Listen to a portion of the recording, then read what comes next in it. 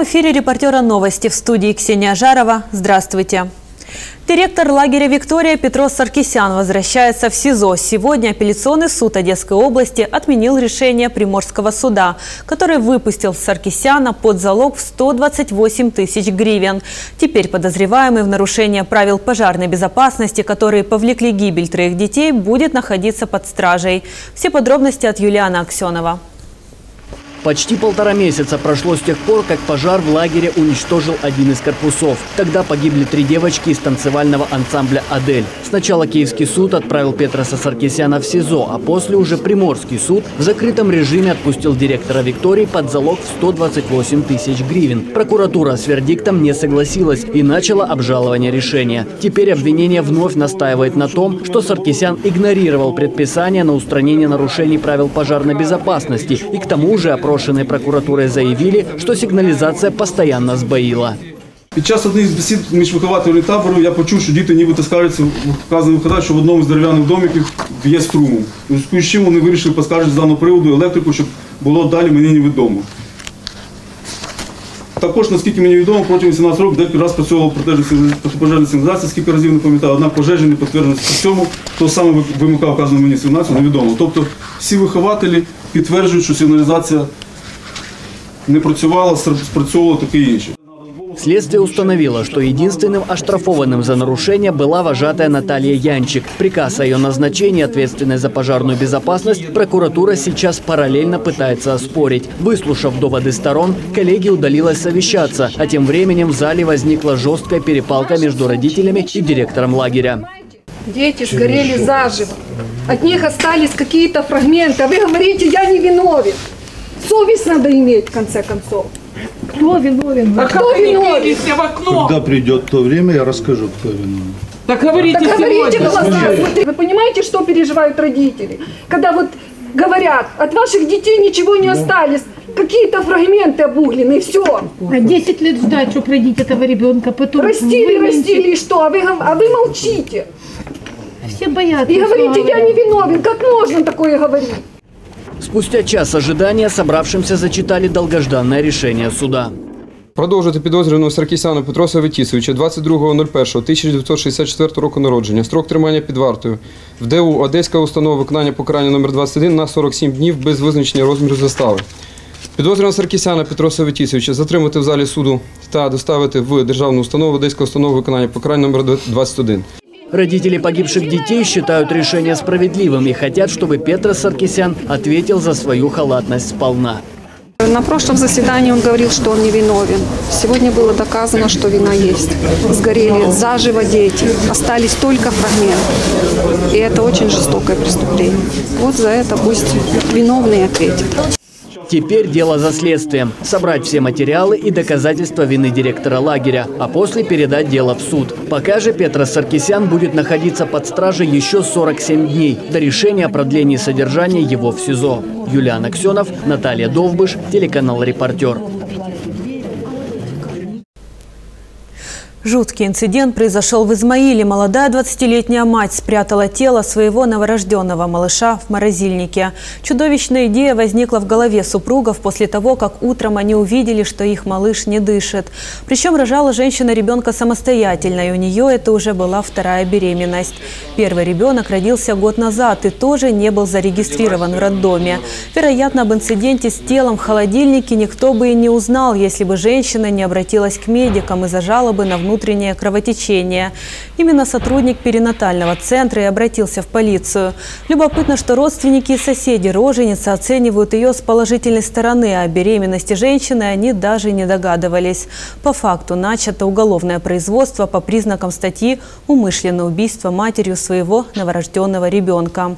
Женщина может оказаться за решеткой на срок до пяти лет. До Ізмаївського відділку поліції надійшло повідомлення від чергового лікаря про те, що за медичною допомогою звернулася 20-річна місцева мешканка з діагнозом остра кровотеча.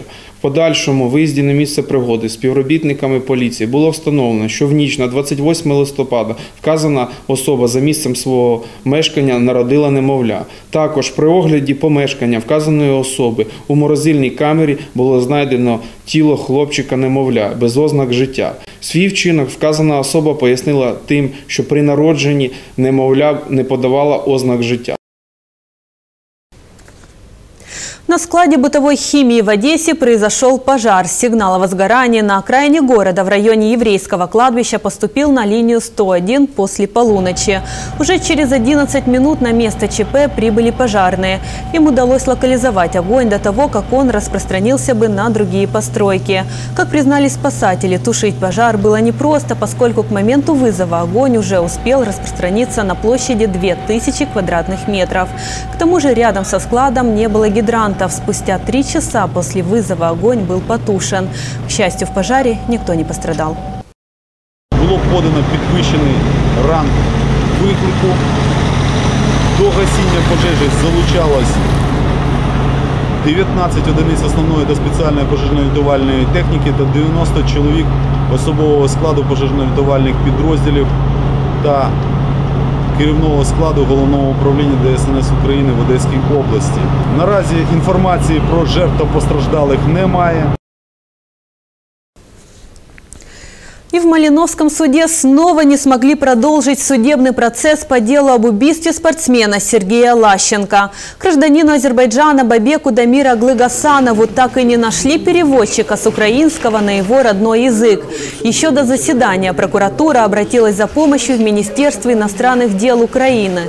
В МИДе же предложили Гасанову лично обратиться за переводчиком в посольство Азербайджана в Украине. 26-летний Бабек Дамир Аглы Гасанов находится в Одесском СИЗО с февраля после его экстрадиции из России. Гасанова обвиняют в убийстве чемпиона Украины по тайскому боксу Сергея Лащенко, который он совершил на территории еврейской больницы. Возмутительно, что все переводчики отказываются, но вроде бы как нашли выход из ситуации. Теперь мы очень надеемся на благосклонное отношение посольства Азербайджана э, уже непосредственно к обращению своего гражданина и на то, что они предоставят все-таки переводчика. Следующее судебное заседание по делу об убийстве боксера Сергея Лащенко должно состояться 11 декабря.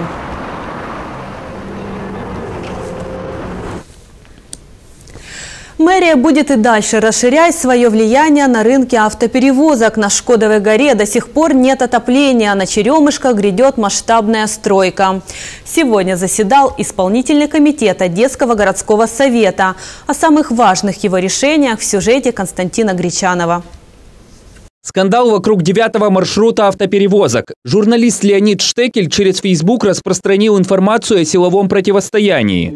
В мэрии эту информацию опровергли, но факт замены частного перевозчика на коммунальное предприятие «Одесгорэлектротранс» действительно имеет место. В департаменте транспорта уверены, что предприятие 15106, работавшее на маршруте, подало на конкурс документы с ложной информацией. Представители мэрии обратились в суд и в первой инстанции выиграли дело. Сейчас оно рассматривается в апелляции. Тем не менее, срок договора с перевозчиком уже истек. Перевозчик подал для участия в конкурсе документы, которые не соответствуют действительности. Ну, для простоты, например, э, он подал транспорт, где написал, что это транспорт, например, там 2008-2012 года. В тех паспортах было вскрыто, что они 99-2002 года. Решение суда пока еще не вступило в законную силу, потому что подана еще апелляция. Но так как у самого предприятия 15106 по маршруту номер 9 закончился договор, законодательством предусмотрен механизм, чтобы не срывать перевозки в таких случаях, предусмотрена процедура временного исполнения э, функций перевозчика. До окончательного решения суда исполнять функции перевозчика будет коммунальное предприятие «Одесгорэлектротранс». Также Александр Илько отметил, что коммунальщики будут расширять свое влияние на рынке городских автоперевозок. Для этого уже закупаются новые троллейбусы и трамваи. А вот для жителей ряда домов в районе Шкодовой горы транспортный вопрос сейчас далеко не на первом месте. У них в домах до сих пор не включили отопление. Несмотря на указание вице-премьер-министра Зубко включить котельную на территории нефтеперерабатывающего завода, она до сих пор не работает. 2 октября на селекторном заседании, которое проводил вице-премьер-министр господин Зубко, было дано поручение по решению этого вопроса. 2 октября уже практически прошло два месяца, и только завтра, потому что заседание э, Кабинета министров перенесли со среды на пятницу, завтра будет этот вопрос окончательно уже рассмотрим. Мы надеемся, что даст возможность уже включить котельную на нефтеперерабатывающем заводе. Технически она готова. На Черемушках в заброшенной промзоне грядет масштабная застройка. В границах улиц Академика Филатова, космонавтов, генерала Петрова и Гайдара появится семь зданий высотой от 20 до 24 этажей. Соответствующий детальный план территории утвердили на исполкоме. Также в новом микрорайоне построят подземный гараж на 232 машиноместа и большой крытый бассейн с тренировочными залами. В одном из жилых зданий разместят школу неполного дня на 40-50 человек. Срок строительства от 5 до 7 лет. Константин Гречан и Алексей Прокопенко, телеканал «Репортер».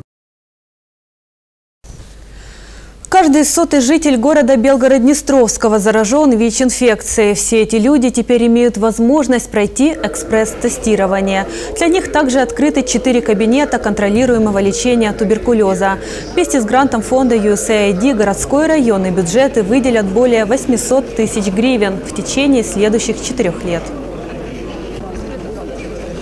Це такий комплексний підхід і як неурядових організацій, які супроводжують цих хворих.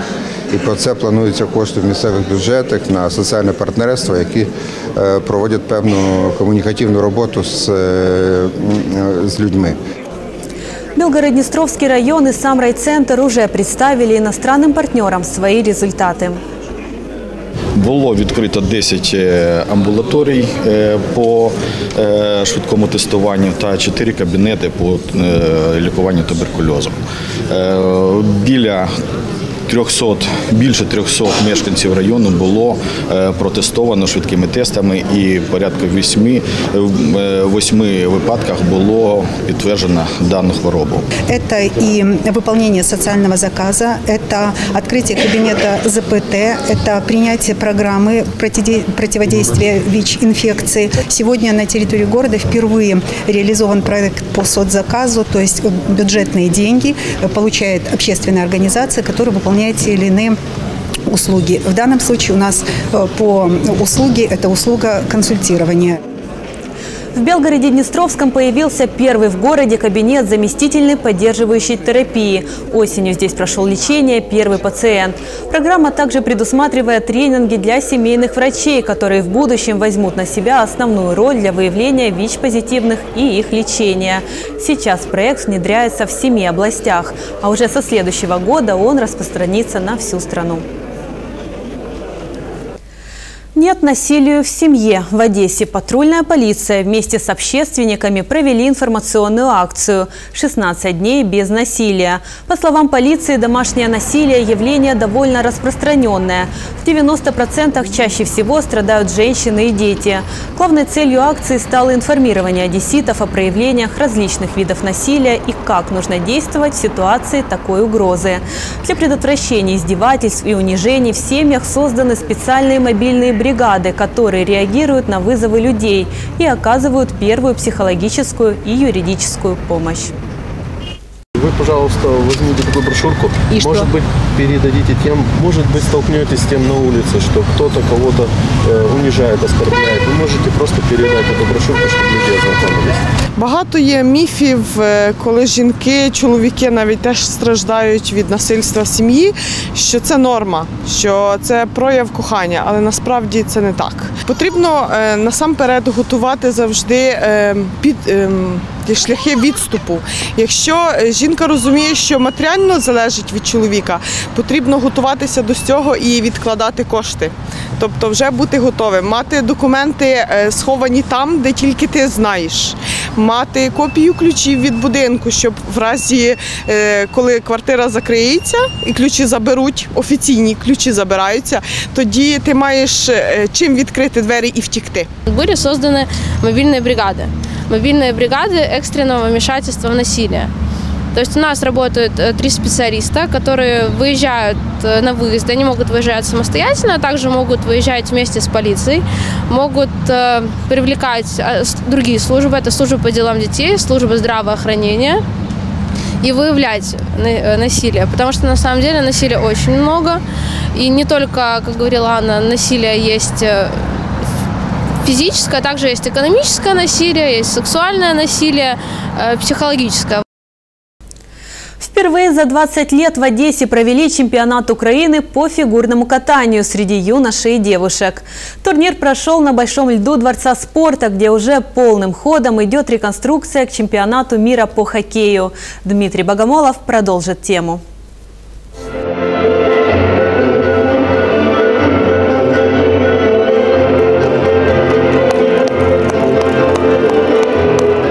Парные выступления – одни из сложнейших в фигурном катании. Важно понимать партнера с полуслова. Для этого необходимы месяцы, а то и годы тренировок. По словам самих спортсменов, самые сложные элементы в парах – это твизлы, дорожки и вращения. Особенно, когда нужно в шпагате забросить ногу на плечо партнеру. Готовили и ставили вообще нам очень долго. На семинаре каждый день по два часа.